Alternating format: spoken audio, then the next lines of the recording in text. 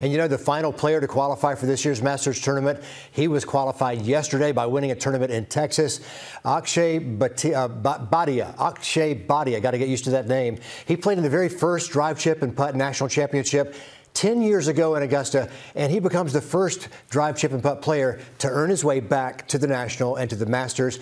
Bhatia spoke with reporters just a little while ago, and our sports director, Dan Booth, joins us now to dive into this really incredible journey back to Augusta.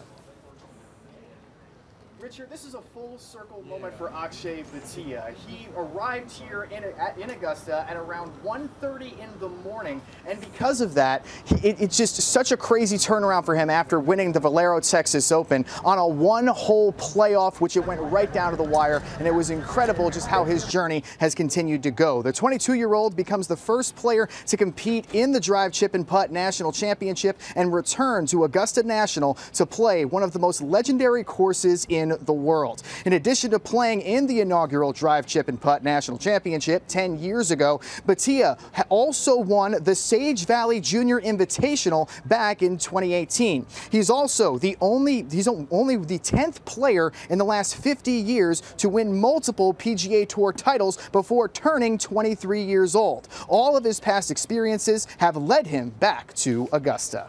Being here as a kid is kind of a fairy tale. Um, just having the opportunity, qualifying, and you earn your spot getting here, just how I did today. And so it's uh, it's a cool kind of it's a cool thing that you know everyone at Augusta National does for for us and uh, for years to come.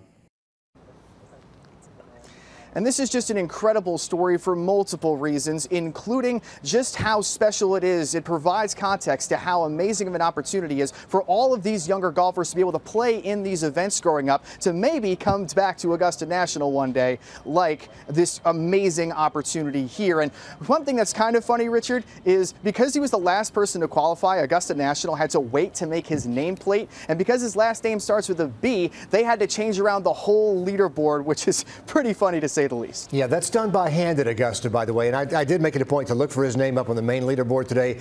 And what a great story. by the way, that's his fiance celebrating with him yesterday in Texas, which means, Dan, she could be a caddy on Wednesday. You know, a lot of golfers put their girlfriends slash fiancés to work on Wednesday.